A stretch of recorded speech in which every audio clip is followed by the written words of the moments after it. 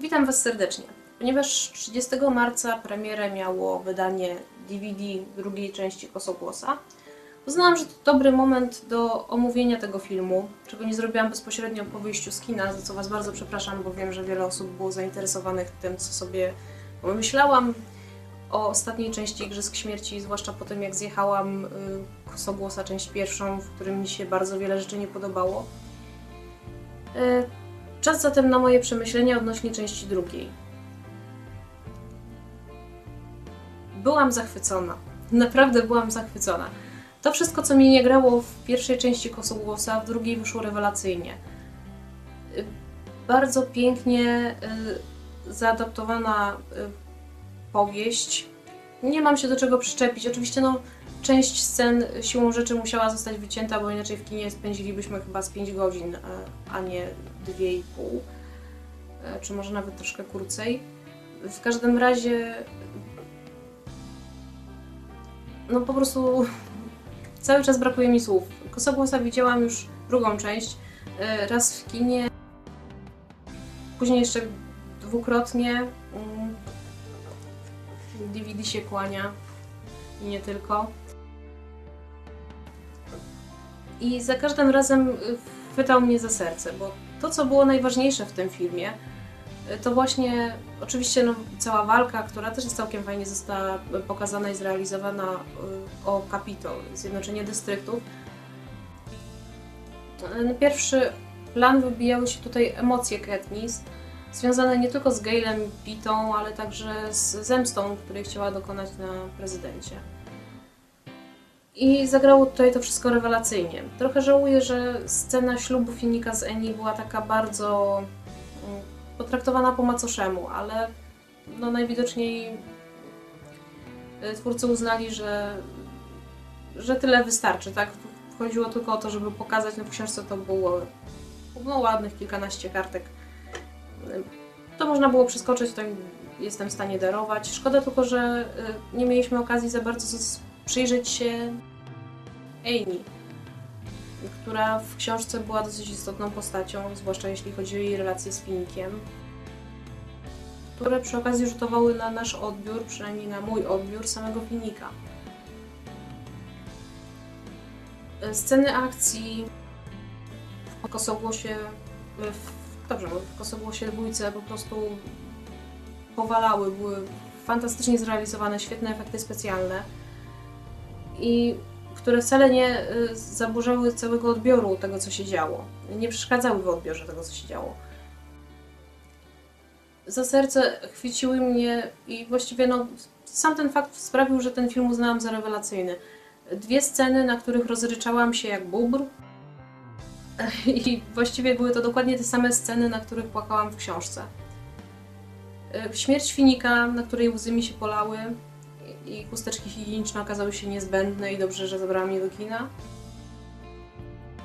Trochę mniej wzruszająca była dla mnie oglądana na ekranie Śmierć Prim, bo w książce też bardzo mnie y, poruszyła, natomiast y, w filmie jakoś mniej, ale to nie, nie znaczy, że została źle zrealizowana. Absolutnie, po prostu może jeszcze byłam po prostu za bardzo zmęczona y, tym płaczem po filmiku. I scena, w której Katniss po zabiciu prezydent Coin, y, co było fantastycznym zwrotem akcji, który oczywiście mnie był już znany, bo czytałam książki, ale słyszałam w, w kinie pomruki zaskoczenia. Y, I scena zrealizowana kapitalnie. Y, To najbardziej mnie ujęła. Był moment, w którym Katniss wróciła do domu i wpadła w taką rzetelną histerię na widok Jaskra. Ja na... oglądając tą scenę wpadłam w histerię razem z nią. Poczułam się trochę jak 17-letnia ja, oglądająca Titanica na VHS-ie i, i robiąca pauzę, żeby móc powycierać sobie oczy i nos y, po śmierci y, Jacka, tak. Do tego stopnia porównywalne były te emocje, które mną targały w momencie, w którym Jennifer Lawrence wygłaszała kwestie Katniss skierowane do Jaskra. Absolutnie chwyciło mnie to za serce. Po prostu poczułam się tak silnie związana emocjonalnie z Katniss jak nigdy wcześniej. coś niesamowitego. Odegrała tą scenę genialnie. Naprawdę re- rewelacyjnie.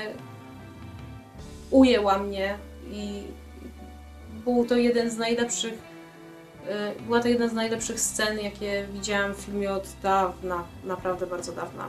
Już nie, nie jestem w stanie sobie przypomnieć, żeby jakikolwiek inny film, y, poza Titaniciem, te 11 lat temu, wzruszył mnie do tego stopnia.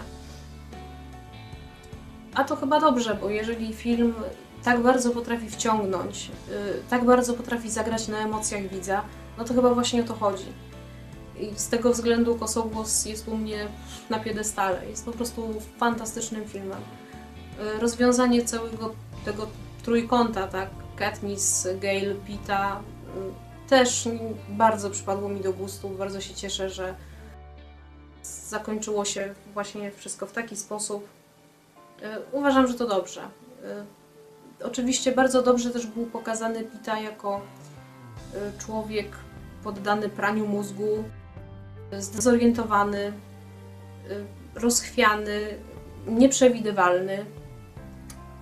I tutaj spotykam się, spotkałam się z wieloma zarzutami, że takiego człowieka nie zabiera się ze sobą na wojnę. Że takiego człowieka należałoby wyeliminować, dlaczego Katniss na Boga, dlaczego scenarzyści nie pozwolili Katniss tego zrobić. Pomijam fakt, że no, książka nie pozwoliła tego zrobić, a film bazuje na książce, ale zrozummy jedną rzecz, no Katniss kocha Pitę. Bardziej niż sama sobie z tego zdaje sprawę i bez względu na to, jak bardzo nie byłby on rozdarty, stłamszony, zniszczony emocjonalnie, ona nie byłaby w stanie tego zrobić. Nie byłaby w stanie go zabić po prostu. Zwłaszcza, że ona sama o tym w pewnym momencie mówi. Jest taka scena, kiedy oni siedzą w kanale i Pita się zwraca do Katniss ze słowami Wciąż próbujesz mnie chronić, prawda czy fałsz? I Katniss odpowiada prawda. Także bez względu na wszystko ona jest z tym człowiekiem na dobre i na złe. I, i właśnie to jest piękne i to decyduje o tym, że na końcu e, Katniss e, wybiera Pitę.